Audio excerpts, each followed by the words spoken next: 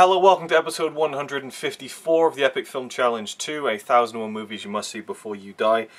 This is a big one, literally. I've been um, kind of avoiding this film for quite a while. Even in the early days of doing this challenge, I looked to this film as one that I was not looking forward to uh, sitting through because of its mammoth length. Um, it's seven hours and for some reason I felt like I needed to watch it in one go and so I've been avoiding it and avoiding it and about three years ago I started watching uh, the first part of it. I enjoyed it a lot more than I thought I would but I thought you know what? I'm gonna wait and I'm gonna pick up the Blu-ray. So I did that. I picked up the Kino Blu-ray um, about a year ago I think when it was on uh, sale on Amazon. And finally yesterday as part of my Silent Movie Marathon 4 which you'll be seeing at some point in the future um, I checked out the Vampires from 1915 and 1916, directed by Louis Feuillade. Uh, it is a, cr a, crime thriller, serial, epic, um, uh, I, I, and again, I, I hasten to say movie because it isn't quite a movie. It's a series of movies. It's television before there was television. It's a film serial and again, if you already know what film serial is, you'll have to forgive me for a second as I sum it up. But back in the days of pre-television, the way to tell a story uh, episodically through the medium of film was to do a serial where they would show an episode every week at the cinema, every month, whatever interval they'd set up, uh, infrequent sometimes, frequent in other cases, and you'd see an episode before the, uh, the main feature. And in the case of the vampires, it doesn't actually uh, bring over the convention of cliffhanger endings either, which I thought that it would. It doesn't really do that. It kind of has a beginning, a middle, and an end, and the promise of the story continuing, but it doesn't end on a what will happen to our heroes, which you see in, I guess, more of the serials of the 30s and 40s, and I'm sure it must have been done in the 1910s and 20s as well. Um, and this is a French serial uh, again by director Louis Feuillade, who um, was very prolific um, in the silent era, uh, made hundreds and hundreds of films. He was once asked for an interview and said that he doesn't have a minute to spare, so he was a workaholic, made hundreds of films, and this was but one of those projects, and it is considered his one of his masterpieces. Um, so there was a lot of expectation going into this film slash series slash collection of films, series of films, I don't know what to call them, because it's in the book, A 1001 movies you must see before you die, but it isn't quite a movie. But I thought I would tackle it like a movie and watched it in one go. So I watched the entire seven hour whack in, in one sitting. Um, not from start to finish, I, I did it over about a 12 hour period. So in one wake cycle, I watched the entirety of The Vampires. Uh, which would be what Le Vampire, I guess. And it doesn't actually focus on vampires. It's not literal vampires. The story takes place in Paris uh, at the same time this was made, 1915 and it's about a, a crime ring of uh, this gang called the Vampires. And we have a reporter called um, Philippe Guérande who is uh, investigating the vampires, and very publicly so. Uh, and so he quickly becomes uh, the principal target of the vampires. They're trying to get this guy Philippe, this reporter, who's sticking his nose where it shouldn't be stuck, uh, and the vampires, I mean, they're, they're running roughshod over Paris, they're, they're killing people, there's decapitations, they're, they're stealing money, they're doing all sorts of stuff, and you really get the sense that they're just, they're just doing it for the fun of it almost, you know, I mean, there's all this money that gets stolen, but you just see them kind of frolicking in their, their secret hideaways and stuff, and they just enjoy killing, and it gets quite dark, but there is, um, a light tone to the film, which definitely comes into play with uh, Philippe's sidekick in the in the film. I'll just call it a film from now on to just to make it more simple. Mazamet. Now Mazamet is definitely the comedy relief the comic relief in the film. Uh, he is this almost bumbling sidekick, but really he gets more done than Philippe. And towards the end of the film, in the last few episodes, he really almost becomes the, the, the primary hero because he's the one who's always figuring out what the criminals are up to, and then he tells Philippe, "Oh, I know, I know where the vamp." But there's at least two or three moments where they're like, what do we do now? And Mazamet is like, oh, I know where the vampires are. I, have got this other information you don't know about Philippe. Um, but the thing with Philippe is that, uh, not Philippe, uh, Masamet, uh, the the sidekick character, is he he mugs at the camera. Um, you know, he'll be you know talking in the scene and then. You know, like, or he doesn't point, but he almost points. Like, it feels like he's about to start pointing and going, "Hey, hello!" Like, it, it really um, uh, pulls you you're out of the uh, the story a little bit.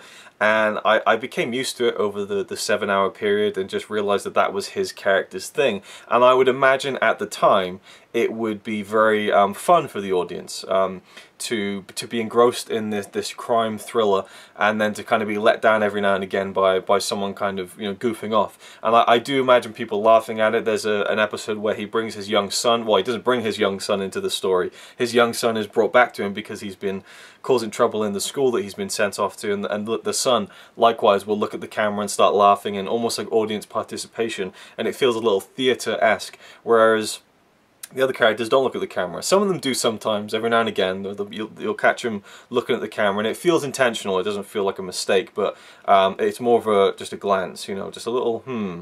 This is interesting. Whereas Mazamet is very much broad and you know again almost points at the camera and going yeah yeah hello so that was distracting um, but again towards the end I didn't, didn't mind it so much Philippe uh, Guérande is a pretty bland, one-dimensional character. Uh, it's not spoiling things to say his fiance gets killed in the second episode by the vampires in a very elaborate, um, well, not even an, an, attempt on her life, an, an actual uh, murder, and a successful attempt. And he doesn't. There's no fallout from it. We never see him upset over the death of his fiance. He just go, goes on business as usual. He's got a new fiance towards the end. Um, so a lot of times the the gravitas doesn't really become a part of it and it feels very um, pulp fictiony you know uh, just serialized kind of just crime pulp you know just serialized stories um, that there's not too much uh, emotional weight to them but there are dark elements um, you know decapitations that there's a, a, head that gets found in a box and there's a couple of brutal murders or at least the the way that we hear about the murders or the way that we see part of the murder is quite brutal uh, obviously, you're not seeing anything extreme, but the implications are quite extreme. Uh, and then you have these these moments of comic relief from Mazamet. Um, but the, the key to this film, I think, that makes it so enjoyable to me is the lead villain, Irma Vep. Uh, which of course is an anagram for vampire and you see that in a very cool kind of stop motion sequence of someone rearranging the, the letters in their mind, a very cool sequence. Um, and Irma Vep is played by um, a woman who went by the name of Musidora, her real name was uh, Jean Roques, I believe. And Musidora is incredible as Irma Vep. I mean, she's on the cover of the uh, the Blu-ray, rightfully so. I mean, just iconic uh, uh, image of her uh, is is online everywhere, and it's this image where she looks quite ugly and ghastly and uh, garish, but um, actually there are moments where she she really has quite a beauty to her, which I found quite um, enchanting and intriguing and I found her so utterly watchable, um, even when she was being evil. She was like Darth Vader. Uh, she was an evil character who did evil things. You, you, couldn't get behind their morals, but you really enjoy watching them on screen, more so sometimes than the, the hero characters. Uh, and she's not even the lead, uh, you know, the, the head of the, the, vampires. She's more of the, the female ringleader.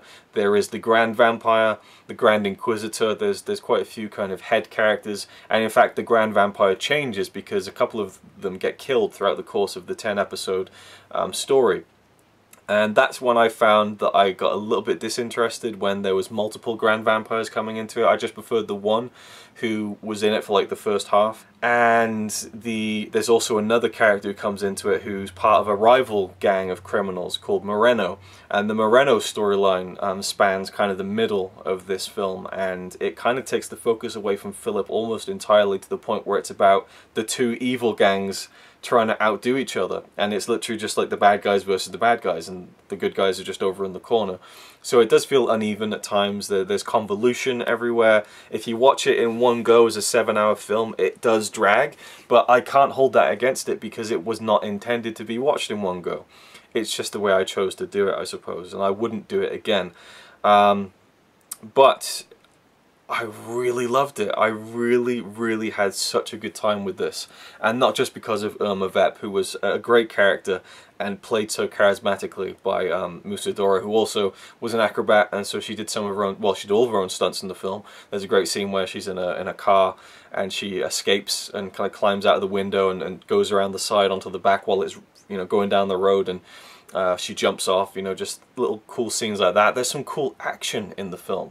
But what I really loved was the crime aspect, the thriller aspect, and you can see the influences of this film in so many films that went you know onward uh, beyond this film uh, and, I, I, wouldn't say that someone like David Fincher has probably even seen this or has been influenced by it but um, purely by other people being influenced by this and then it, it, going on in that chain of osmosis of of ideas I feel like it probably it, there's something to be said for this film being a seminal moment in the the thriller movie uh, and the crime movie the gangster movie even if you look at the vampires as, as gangsters um, and all the little elements that you know were around in fiction and, and, novels and things like that but to be put on the screen like this and realized in such a fun way from codes you know there's a scene where Philippe is uh, unraveling a, code book and it's just really like fascinating and interesting to see him do it. There's invisible ink that gets revealed and then disappears. There are these uh, all these little tricks and things and these sliding doorways trapdoors and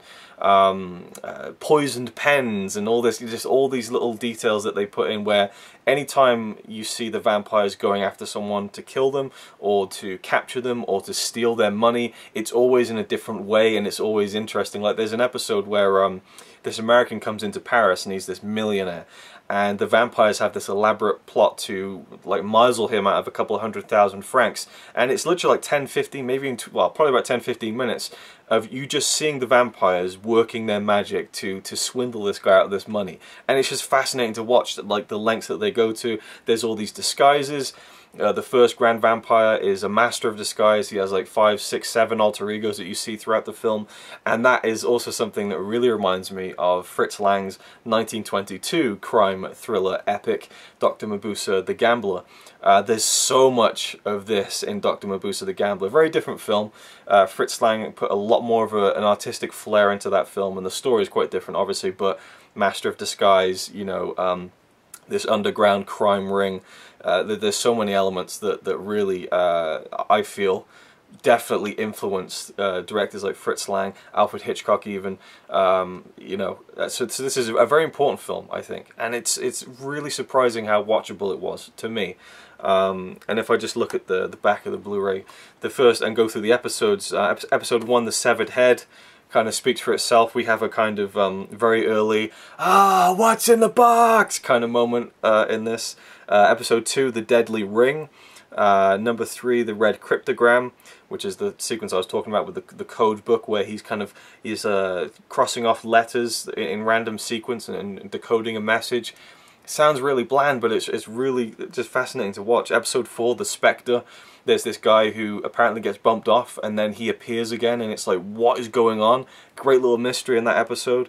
Uh, episode 5, The Corpses Escape, uh, someone who, who apparently is dead gets up again and all sorts of stuff uh, ensues from there. Episode 6, The Eyes That Mesmerize. Uh, the character of Moreno um, can hypnotize people. Another key plot element that was used in Dr. Mabuse. Uh, number episode seven, uh, Satanas, uh, the new Grand Vampire comes into the story. Episode eight, the Lord of Thunder, a mystery uh, surrounding um, uh, the Grand Vampire using a cannon to blow up buildings and stuff, and they need to find out where the cannon uh, is coming from. Episode 9, The Poison Man, who is the third Grand Vampire, who's a master of kind of chemistry and, and poisons and episode 10 the bloody wedding which is the finale. And i like that there's a finale and there's a, a, definite conclusion to the story because it does meander. It does get a bit convoluted. There are characters that get introduced that don't feel too integral to the plot and are spent too much time on. But again this is serialized storytelling and from what I understand, this definitely wasn't a day one, okay, here's the 10 episodes, here's what's going to happen in every one. Very much kind of improvising as they went. One of the key ways that The Vampires tells its story is through text. Uh, now, obviously, with silent films, you have intertitles where you'll see kind of the quotation marks and uh, pieces of dialogue that the characters are saying to each other, or just uh, descriptions setting up the scene. And you get that, both of those things in The Vampires, but you also get the, the story told through notes where characters will give each other notes, or they'll be reading newspaper articles that have information from the plot contained in them. And what I liked about the vampires was that um, it, it's littered with these things, but uh, it changes it up uh, suitably. You know, every every next time you see one of these notes, it's either you know different handwriting, you know, a different piece of paper, or it's a telegram. So I really like the way that these um, the, these printed notes, these kind of uh, exposition sheets, if you will, uh, were done differently. Sometimes it would be even a map that's been drawn. So I liked how the story was told through these close-ups on notes and things like that. Uh, I'm glad that it has English subtitles because some of the cursive writing I wouldn't even be able to understand if it was English. So I'm very appreciative of the subtitles um, on this Blu-ray. So I thought that was a really effective way to keep the storytelling going and um, mixing it up between the intertitles of dialogue and setup. The style of, of shooting in this is very um, basic, um, but it's deceivingly basic. A lot of it is just static shots of a room with characters talking. Um, and so it, again, quite static, but at the same time, when you get into the more action-oriented scenes, it's deceptively um, well shot. You know, moving cameras, um, things like that. Nothing too elaborate, but it just it serves the story, and it never really felt like it was. Because um, I mean, you look at stills of the film, and it just looks a little bit boring. But once you're watching it, I don't know, it was just really watchable to me and the, the very static style didn't meet, uh, matter too much to me. And apparently it was criticised at the time for not employing, you know, interesting filmmaking techniques, but sometimes you don't need to go crazy with the camera. Uh, a great quote from someone, I don't know who it is, said that, uh, you know, service the story first. Don't be doing, you know, clever shit with the camera just for the sake of it. The story first. And you could argue the story isn't perfect in this film, but I don't feel like it was, um, you know, boring because there was nothing crazy going on with the cameras, all these great techniques. There's a couple of cool techniques like stop motion photography. There's a, a nice split screen moment in one of the episodes. What I really liked was the lighting, uh, and it's also a detriment at times too. Uh, they would tint the, the, the film uh, to blue at night uh, for nighttime scenes, which they did a lot back then. Uh, and it kind of looks silly when you can clearly tell they've shot something in the middle of the day. Like you can see people on the bridge down on the river just walking back and forth, probably going out for lunch somewhere, and it's supposed to be midnight, and it kind of uh, drags it down a little bit when it's clearly shot in the middle of the day and it's meant to be night and they've just tinted the frame blue. Um, but there are great scenes where it's indoors and it's blue and the, the character will, will, flip a switch and it's really well done and there's some really nice moments of lighting that really add a great mood to some of the scenes in the film. And a lot of the scenes are quite light-hearted but some of them have a really cool atmosphere to them. And so for me, the vampires there's always something different going on you know and I mean there's scenes where there's characters jumping onto the top of a moving train and, and there's these great chase sequences and they never go fully overboard and like over the top and like you know massive you know extravagant set piece there's just these little great moments peppered throughout the entire seven hour run of all 10 episodes and again, if you look at the sheer mass of footage, you know, seven hours plus in this film, uh, a lot of it is filmed very routinely, but there are these flashes in there of really great filmmaking. There's one scene in particular where Philippe's new fiance is lying in bed and she's nervous and she's ready for someone to try and make an attempt on her life. She has a gun with her, we can see that she has it underneath the quilt, and when she sees that someone from the vampires are outside her window, they're trying to get in, she pretends to be asleep. And the tension that gets built in that scene the, the, the editing, the shot choice uh, is so well done. That is one of the best scenes in the entire film when one of the, the gang members is kind of slowly cutting out the pane of glass in the window. It's just a really well put together scene.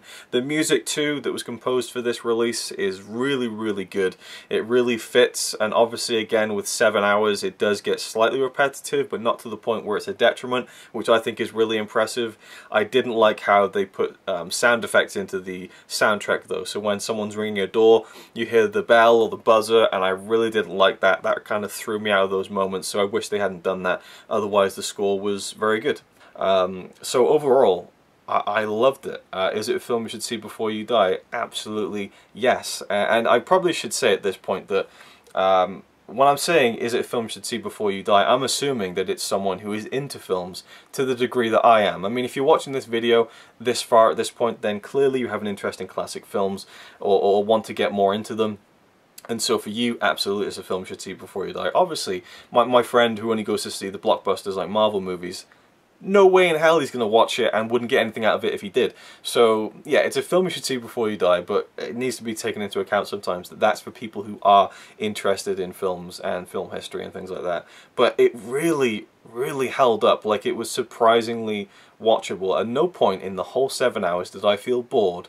I just felt like, you know, oh, there's quite a bit left and there could be other things I could be doing, but I'm still enjoying it.